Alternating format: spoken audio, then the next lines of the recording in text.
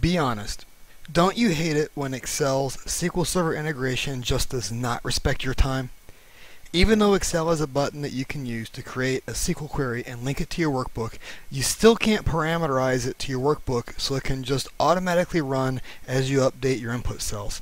But after you watch this video, you'll know how to make Excel to SQL integration work for you, saving you time and money. Watch this.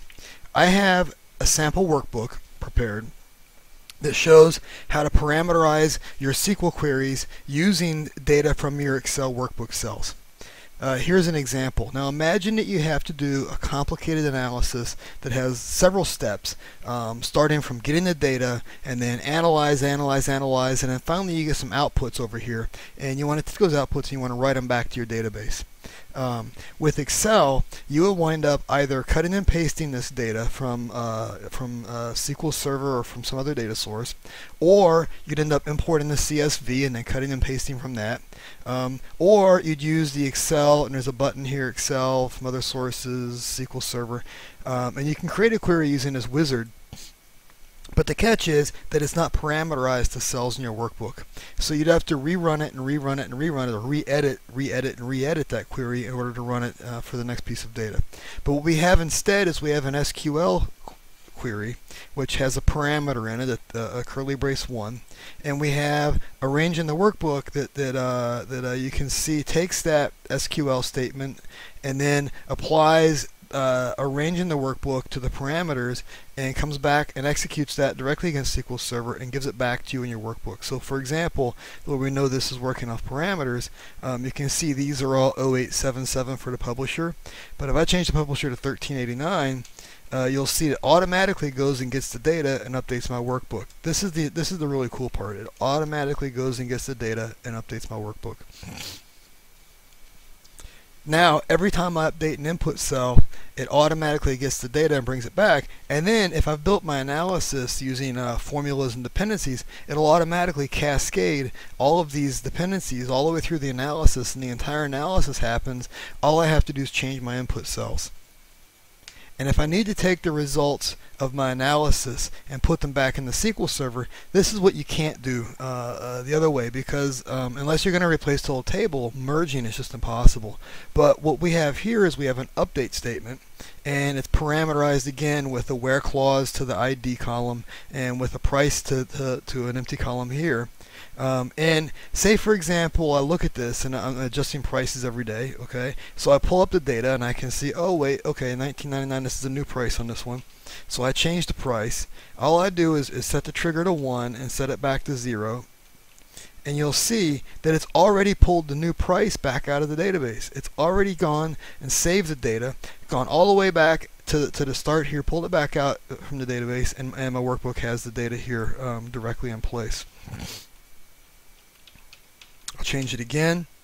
Uh, notice that the, the, the price and the new price are different, but once I trigger this and it goes to the database, bam, now it comes all the way back out and you can see the data did update and come back out of the database. So now that you've seen how to solve this problem, you can get your hands So what does this mean? You've just seen. Just go to sql.sql-excel.com where you can download and start using it today. By the way, this is only one of seven deadly sins that Excel commits when using Excel with SQL data. Here's a list of all seven. Sin number seven. I can hear you crying right now because Excel does not integrate with MySQL. At least not out of the box it doesn't. But I've got a tool that allows you for easy access to your MySQL data. Sin number six quotation marks hell. Using the Excel substitute function to escape quotation marks wastes your time and tries your patience, mainly because you have to nest it over and over again for every field. I've gotten around this nuisance with my new tool as well. Sin number five, cut and paste. Cutting and pasting data out of SQL Server is a pain in the ass.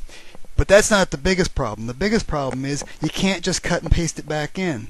You want to know what? My new tool gets data in and out of SQL Server without using cut and paste. Sin number four, importing and exporting CSV files. Even worse than cut and paste, you end up with scrap, outdated files scattered all over the place, and you have to go through repeated data import steps, or worse, run uh, uh, impossible to maintain SSIS packages uh, over and over again to get your data in and out. Even worse, if you aren't replacing the entire SQL Server table, merging the data back into SQL Server is another painful exercise. Now you can finally and forever say goodbye to clumsy CSV files because now you'll be able to access your SQL data directly. Sin number three, data drift. Once you get your data out of Excel as a snapshot, and start using it, the data starts to naturally diverge or change from the production data as people update the production data after you take your snapshot. I call this data drift. You never really know if data drift has caused your snapshot of the data to develop glaring and not to mention very embarrassing discrepancies that will cause errors in your results. With my new tool, data drift disappears because you'll be accessing and updating production data directly. Sin number two data islands. Sales has their view of reality, accounting has their view of reality, and never the two shall meet. That's really all you need to know about that nightmare. With my tool, data islands are no more because you and all the other users will be accessing and updating the exact same data in production. Pretty cool, eh? Sin number one I hate this, and it's the main reason I created my tool in the first place. Excel just doesn't respect your time. With the Excel to SQL integration, you have to repeat the same steps over and over again when you want data. And it can't be parameterized to inputs in your workbook so that when you change the customer ID, the entire analysis runs automatically when you recalculate the workbook. My new tool doesn't waste your time or try your patience. So feel free to watch the other videos. But if you want to have Excel eating out of your hand when it comes to SQL and MySQL data, just click the link below or go to SQL-Excel.com. SQL-Excel.com. Excelic makes integrating with SQL data a snap. You're just a couple clicks away from ending the insanity. Once again, just go to SQL-Excel.com.